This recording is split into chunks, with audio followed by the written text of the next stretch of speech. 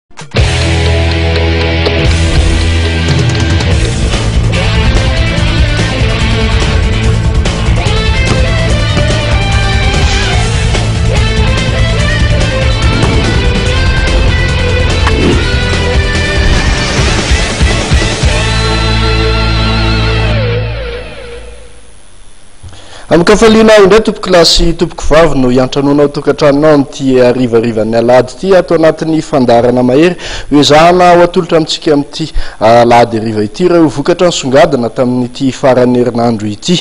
Hoentsika hanomboana ny fandaharana ary dia ny eo amin'ny taranja baolina kitra nanomboka ka niditra tamin'ny andro voalohany tamin'ity andron'ny Alahady sy sabotsy ity ny fiadiana ny tompondakan'ny ligin'Analamanga taranja baolina kitra sokajy diviziona voalohany. Anisan'ny lalao be mpiandry tamin'izany ny fihaonana teo amin'ny ekipan'ny Elgeco Plus sy ny Tana Formation.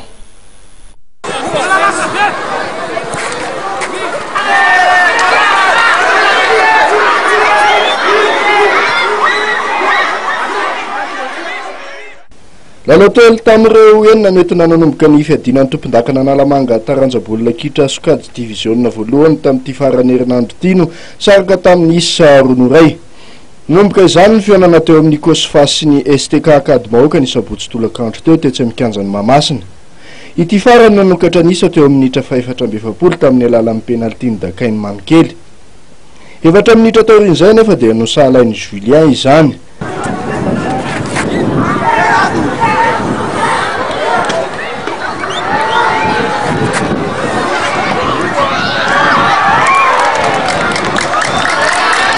Mbola nampian'i Rado izany isa azon'ny miaramila izany teo amin'ny minitra faha efatra amby fitopolo.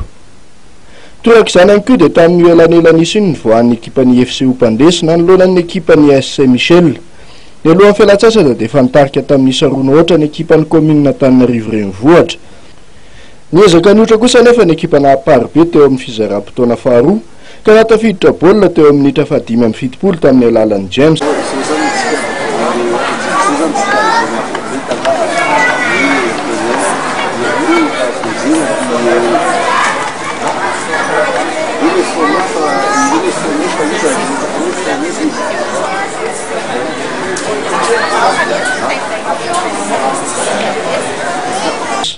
Ary farany dia resin'ny ekipan'ny Vesta tamin'ny isa roa no iray ihany koa ny ekipan'ny Catrefa tany Akarion.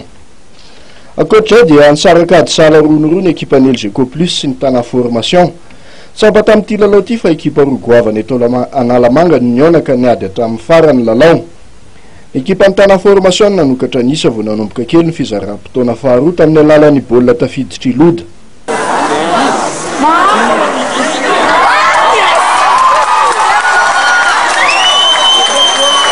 Folo minitra taorian'izay dia nosahalan'i Tsiré sy ny isa teny amin'ny solaitrabe.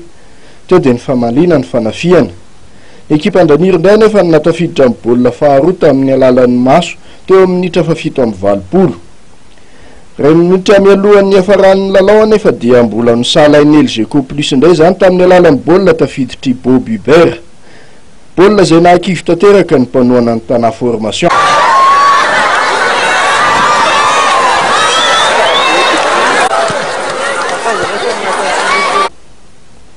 Toy izao kosa ny vokatra hafa, ny AS Adema dia naresin'ny Mama FC tamin'ny isa iray no aotra, ny Cospn sy Ezami dia nisaraka iray no ho ray. Marihina fa hitoka hiditra amin'ny andro faharoa ny alarobia sy ny alakamisy ho avy izao ny fifaninanana eto Analamanga ho an'ny sokajy diviziona voalohany. Tamin'ity fotoam-panokafana ity ihany koa no nanararaotan'ny fianakaviam-ben'ny Alpha niarahabana ny mpitantana ao amin'ny federasiona nahatratra ny taona vaovao. eto Madagasikara.